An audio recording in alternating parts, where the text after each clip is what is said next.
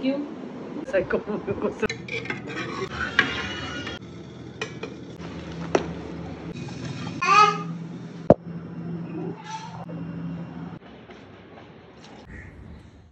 hello everyone welcome back to our channel कैसे हैं आप लोग? आई होप कि आप लोग अच्छे होंगे। मैं नहा चुकी हूँ और आज जीविका का एग्ज़ाम है, वो चली गई। मुझे काफ़ी लेट हो गया क्योंकि उसका नाइन ओ आज बस आने वाला था तो उस हिसाब से मुझे बहुत लेट हो गया और यहाँ पे सारे लोग टॉवल ऐसे ही छोड़ दिए।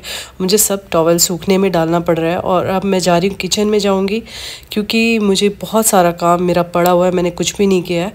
लेकिन किचन में जब आप जाते हो, उससे पहले आपको जो जो चीज़ें दिखती जाती हैं, आप करते चले जाते हो तो मैं किचन में आ गई, मैंने सांभर चढ़ाया है।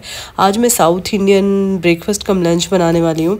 लेकिन तभी मुझे आवाज़ आई कि ऋषिव सोकर उठ गया तो उसको मैं देख रही हूँ। और उसकी थोड़ी सी तबीयत ठीक ही नहीं हो रही है मतलब कोल्ड कफ वो चीज़ें ठीक नहीं हो रही। वो डेली गया जब से उसकी तबीयत ठीक नहीं थी। उसके बाद वो सुधरा ही नहीं है मतलब वो खा भी नहीं रहा है। और इस तरीके से बहुत ज़्यादा मतलब इरीटेट हो रहा है, रो रहा है। तो उसको मुझे बहुत संभालना पड़ रहा है अभी। अब मैंने ये सांभर चढ़ाया था, सांभर बन चुका है। और इसमें सारे वेजिटेबल्स डालकर मैंने जो सांभर बनाया, बहुत टेस्टी बना है। और अब मुझे सिर्फ़ सांभर मसाला डालना है और इस पर तड़का लगाना है दैट्स इट बाकी सारी चीज़ें, इमली वगैरह सब मैंने डाल दिया।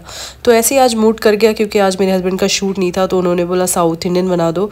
और मतलब डिश तो इसलिए मैं बना रही हूँ। साउथ इंडियन क्या जैसे इडली, वड़ा, ये सब क्या है? गर्म ही हम खा सकते हैं। उनको लंच बॉक्स में मैं नहीं दे सकती, क्योंकि ठंडा हो जाएगा तो फिर वो मज़ा नहीं आता। अब चाहे कितनी दोबारा आप वापस गर्म कर लो। तो यहाँ पर मेरा सांभर बन गया है। सांभर में मैंने तड़का लगा दिया है और साउथ इंडियन डिश मुझे भी ऑल टाइम मेरा फेवरेट है, चाहे मुझे डिनर में दे दो, चाहे ब्रेकफास्ट में या लंच में।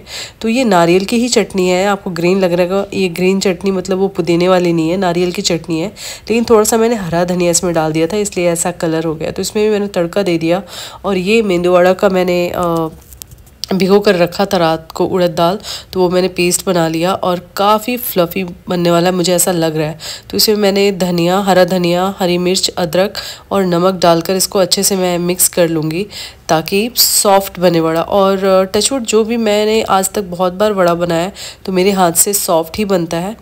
और बहुत लोगों से बहुत कड़ा बनता है, अंदर बहुत हार्ड होता है, वैसा नहीं बनता। तो ये इडली मेकर मैंने नया लिया है, और आज इस मैं पहली बार बना रही हूँ इडली तो पता नहीं कैसा बनेगा। आई होप कि अच्छा ही बनेगा। नहीं तो अभी तक मेरे पास इडली मेकर था नहीं, जिसकी वजह से मैं क्या करती थी माइक्रोवेव में वो प्लास्टिक के उसमें बनाती थी तो वो मुझे अच्छा नहीं लगता था और सेफ़ भी नहीं है प्लास्टिक में बनाना। तो इसलिए मैंने इस बार ख़रीदा। मैंने क्या ख़रीदा? मेरे हस्बैंड ने लिया, बोला कि नहीं तुम इडली बनाना ही छोड़ दी तो मैं लेकर आता हूँ। तो उन्होंने लाया और मुझे लगता है कि इसमें अच्छा ही बनेगा। तो इसमें आठ इडली बन सकता है एक बार में।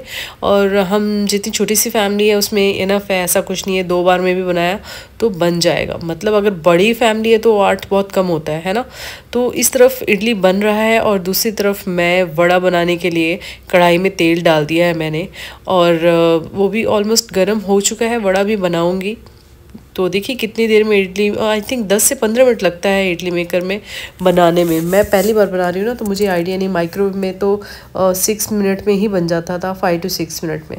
तो यहाँ पर तेल गर्म हो चुका है और ये देखिए बिंदु आपको देखने के बाद ही लग रहा होगा कि ये काफ़ी सॉफ्ट बनने वाला है, क्योंकि एकदम बिल्कुल स्पंजी फुला फुला सा बन गया है।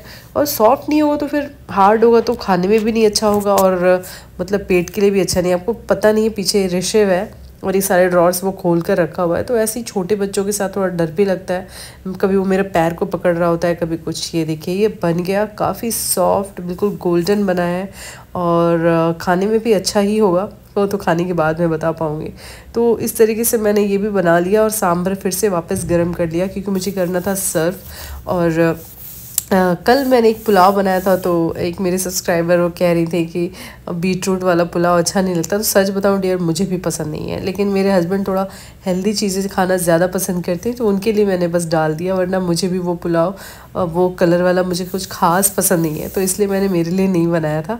और यहाँ मैं अपने हस्बैंड के लंच सर्व कर रही हूँ, देख रहे हैं, इडली बहुत अच्छा बना है, बहुत सॉफ्ट सा इडली बना है, मैं बहुत खुश हुई कि चलो, इडली मेकर अच्छा तो है, इसमें बन जाएगा अच्छे से, वरना कोई चीज़ लो और वो काम करना हो ना तो मूड एकदम ख़राब हो जाता है। तो चलिए, अब देखते हैं हस्बैंड का क्या रिस्पॉन्स है, कैसा लगता है आज का उनको लंच कम ब्रेकफास्ट ये इनका ही आइडिया था कि आज ये बनाओ और बड़े मन से। तो देखते हैं खा कर अब ये बताएँगे कि कैसा है, क्या है। और आई होप कि अच्छा ही हो, क्योंकि जब हस्बैंड बोल देंगे, ओके तो मतलब ओके है अदरवाइज़ फिर मूड ख़राब हो जाता है, यार, इतनी मेहनत से बनाओ। और अगर कोई कहते कि अच्छा नहीं बना है तो थोड़ा सा दुख होता है कि, यार, मैंने बनाया उस बात का नहीं, इस बात का कि मैं सबको अच्छा खाना नहीं दे पाई बनाकर। उस बात का मुझे बहुत दुख होता है। तो आजकल व्लॉग देखिए कैसा लग रहा है? आप लोग कमेंट कीजिए, मुझे ज़रा अच्छे अच्छे कमेंट्स कीजिए लाइक कीजिए। और यहाँ मेरे हस्बैंड मुझसे मज़ाक करे कह रहे आज इतना अच्छा खाना है कि मैं दिल कर रहा है कि मैं तेरा हाथ ही चूम लूँ। मैं वही कहती कि, पागल हो क्या? कुछ भी कर रहे हो। और फिर ऋषभ को मैं यहाँ पर खिला रही हूँ, क्योंकि आजकल ऋषभ मैंने बोला ना, कुछ भी नहीं खा रहा, लेकिन इडली मैं खिलाने की कोशिश कर रही हूँ। तो इडली उसको थोड़ा सा अच्छा लग रहा है खाना। मुझे ऐसा लग रहा है कि उसको इडली पसंद आ रहा है। तो ठीक है, बच्चा है, जो खा ले। मैं वो खिलाने को तैयार हूँ बट खाए तो सही। मैं क्या नहीं कर रही हूँ, आपको बता नहीं सकती। कभी पराठे बना रही हूँ, कभी हलवा बना रही हूँ, कभी जो दिल में आ रहा है कि कुछ तो खाए। और यहाँ पे देखिए, इसने क्या किया है गार्डन का। यहाँ मैंने मतलब एक दिया रखा हुआ था, उसको गिरा दिया। सारी चीज़ें उलट पलट कर देता है ऋषि जब से चलना सीखा है ना, सारी चीज़ें उलट पलट कर देता है। तो आपको कभी उलट पलट चीज़ें दिखे तो प्लीज़ माफ़ कीजिएगा, क्योंकि कुछ नहीं कर सकते हैं और इस एज के बच्चे जिनके घर में वो समझ सकते हैं कि आप कुछ नहीं कर सकते हो इसके लिए। आप बस ठीक करोगे, फिर ख़राब करेगा। तो गर्मियाँ अभी बहुत पड़ रही हैं प्लांट्स ऐसे सूख जा रहे हैं, मालूम नहीं।